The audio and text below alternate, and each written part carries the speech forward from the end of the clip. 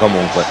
Mirko Di Tora questo ci trascina via da questi pensieri legati alla rana e ci porta alla velocità dei 50 d'orso. 50 d'orso in cui sarà Mirko Di Tora. È una gara in cui tutto, tutto può accadere. Mirko vuole migliorare il suo record italiano lo ha avvicinato a soli due centesimi se non ricordo male Luca ma direi di sì 25,58 il record italiano, 25,60 il tempo che ha notato. Or Arnarsson, eh, l'atleta che ogni tanto ritorna, Aquila, figlio dell'Aquila, l'islandese da 25,86 di personale stabilito proprio in qualificazione, l'eroe di casa, Nick eh, Driebergen in seconda corsia e quindi il nostro Mirko Titora ha dimostrato di non patire l'evento, lui che di fatto è un esordiente su una rivalta internazionale di vasca lunga di alto livello, ha già assaggiato la nazionale ma da poco tempo.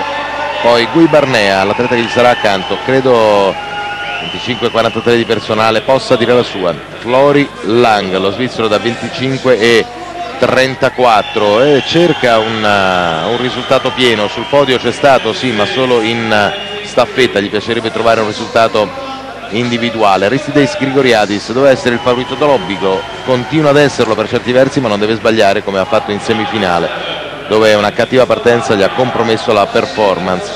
Lubos Kritsko, lo slovacco in settima corsia, il personale in qualificazione, lo stesso per non lo stesso per Ashwin Wildeboer, lo spagnolo da 25,88, 25,5 di personale.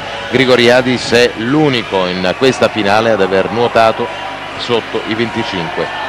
Greco Secondi. peraltro ha dimostrato di essere in buona condizione con un ottimo 100, di sicuro ha portato la preparazione sulla distanza più lunga che olimpica, gara in ogni caso aperta per Mirko, deve prendere una bella partenza, lui non è uno specialista. No ma non ha paura di niente, questo in una gara attesa come un 50 è già un, un piccolo elemento di favore. Cuffia argentea tra i meno abbronzati, parte alta della vasca, Mirko Di Tora per individuarlo ancora lassù. Lo start questa volta non è lento, eh, aspettiamo, tira bene l'apnea, la, esce anche abbastanza bene, Mirko Di Tora è in linea con i migliori Luca, eh, perde qualcosa qua, che velocità, centro vasca parte alta della vasca, Mirko deve cercare di rientrare, potrebbe anche riuscire, qui non cala mica nessuno, eh. mamma che finale, eh, Mirko fuori dal podio ma il tocco è di Grigoriadis 25 e 13 non scende sotto i 25 secondi ma conferma il, eh, dire, le attese del pronostico. Settimo Mirko Altora 25 e 66 per cui non riesce a migliorare se stesso, anzi peggiora di 6 centesimi il tempo, patisce qualcosa, non in partenza Luca, forse nell'uscita dalla subacquea, non so. Ma c'è stato un minimo di imprecisione all'attacco delle prime bracciate, proprio al momento in cui si spacca la superficie e lì ha perso qualcosa. E poi cosa dire, la gara è stata praticamente identica a quella del semifinale come tempo complessivo, l'arrivo direi eh, buono, ha dovuto velocizzare leggermente la penultima bracciata e accorciare l'ultima, però obiettivamente non è mai stato nei tre da medaglia. No, no, no, no. 25-44 il tempo che valso la medaglia di, di bronzo a Lubo Skritsko per la Slovacchia, 25-18 il tempo per l'argento a Florilanga e poi